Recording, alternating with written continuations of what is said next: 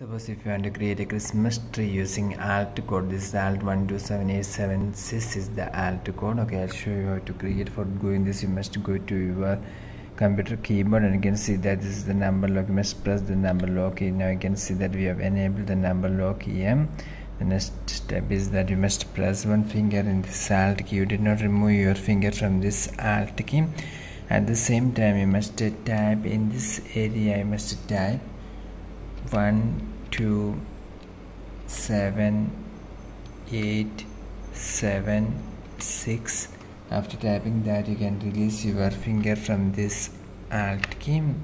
So now you can see that we have created a christmas tree using this keyboard shortcut. So i am opening the microsoft word ms office word document in your windows computer and i have created this christmas tree. Or suppose if you want to change the color. You can simply select this and put the color whatever you want or for if I want to choose the green color then you can see that the Christmas tree comes in this color. So hope you understood how to create Christmas tree using computer keyboard shortcut. For more video updates like this you can subscribe our channel engineers online. Thank you